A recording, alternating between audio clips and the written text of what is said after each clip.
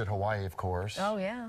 Well, get- there's a good chance you're going to get a lei, which is the get what? necklace that's made up of the flowers, the lei that they put over Yes. your head. When you get off the plane. And they, yes, exactly. They don't come from the lei tree, of course, as we mentioned. They come from the plumeria That's tree. right. And one local man was so taken by these trees when he first saw them in Hawaii that he decided to bring them to Tampa, and boy, did he bring them. The exotic Plumeria Nursery now boasts a huge collection.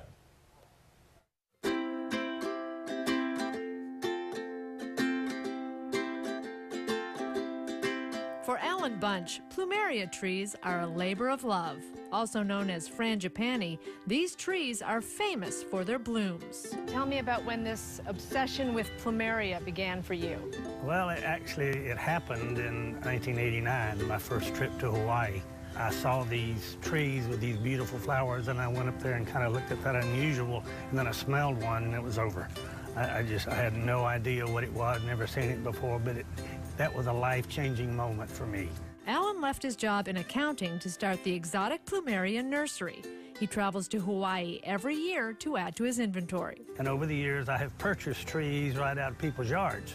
And then I go back each year or every other year and take cuttings off of my tree, and yet they still have a tree in their yard. Nice. So win-win for everyone. Yeah, yeah. I go every uh, January or February, and I typically ship back between four and 10,000 cuttings each year. He loves Hawaii so much, Alan turned his yard into the perfect spot for a luau, complete with bamboo, a waterfall, and koi.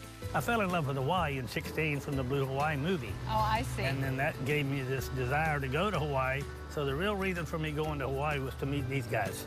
Interesting. And that's what happened. This is called Celadine, and uh, it has a very waxy, citrusy scent, very, very pleasant. But the petals are very thick, so it holds up well after it's picked and doesn't turn brown right away, so it's ideal for making the leis. If you can't find the type of tree you want here, then you've got a long trip ahead of you because this is the largest collection on the continent.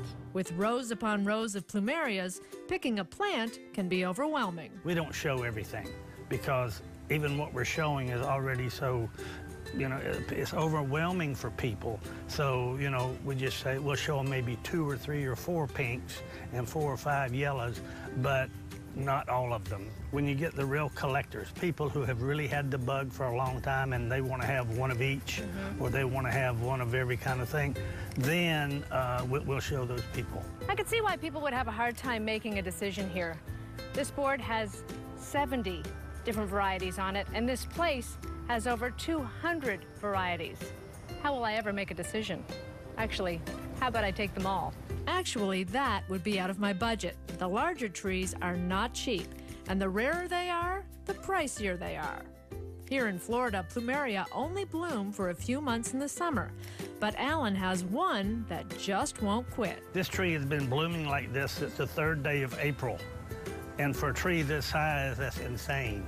I have no idea why, but I'm loving it every minute. This is called Embers. I discovered this back in the early 2000s. And the reason I named it Embers is I think pretty obvious. Yes. It's a little more expensive than the others because there's a very limited supply. Mm-hmm. I only own one tree in Maui, and I go back and cut it each year or every other year. One of the best things about plumeria is they're easy to care for, and Alan says they like being neglected. I will guarantee you they will give you more back than they expect from you all the time. Alan, what makes this plumeria so special? Well, a number of things. Number one is the fragrance. Hmm. And it, this particular variety, which is called Singapore, throws its fragrance farther from the tree than any other plumeria. You smell it. Oh, It's the most haunting fragrance that you can imagine. it's amazing. Pe- people over the years asked me, what's your favorite plumeria? And I never could tell them. And then I had a dream about three years ago, and I went down the list of all the pluses and minuses, and this had no minuses. How have you been able to keep this business going and growing over the years when a lot of others have come and gone? I love it. It's a passion. It's not a business. Mm.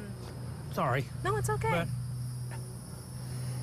it, it gives me so much reward when I smell and see because quite often we'll get customers who's coming here maybe grew up somewhere where they grew as a child and they can remember climbing on these mm-hmm. and they come in and start crying because they've not seen one in so long. Mm-hmm. So it's a thing about people and sharing something of nature and sharing the beauty and the fragrances. It beats the heck out of a county. Oh, so great that he has found his passion, and it's obvious. That's so sweet. The place is magical. Again, it smells it's- incredible. It smells great. Again, it's called the, the exotic plumeria, and Rob tells me that bees will probably still go to those because they go for the pollen, not the nectar. there you go. Right? You've been schooled. I have been schooled. We'll be right back with more daytime after this.